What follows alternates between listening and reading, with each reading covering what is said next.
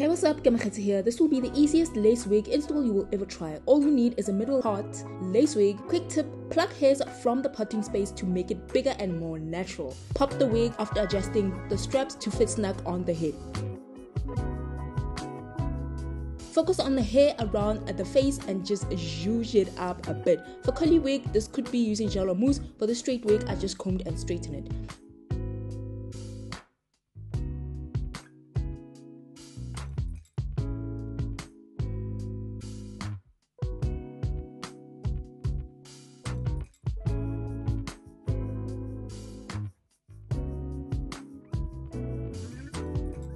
Then make sure to flatten the top of the wig using heat because no one wants a helmet head wig. Add some gel on the lace so it can lay flat. You can lay it down with an elastic band if you want to do too much, you know, nothing wrong with, with being extra.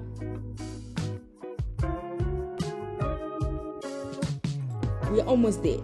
For the part to look more natural, go ahead and add some skin tone concealer in the parting space